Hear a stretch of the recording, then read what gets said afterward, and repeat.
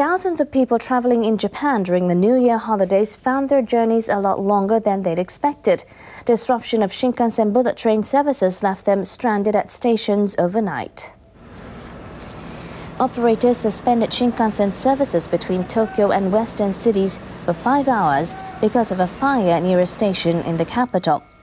Delays continued late into the night during the busiest travel season of the year. More than 2,000 stranded passengers slept in carriages at Tokyo Station.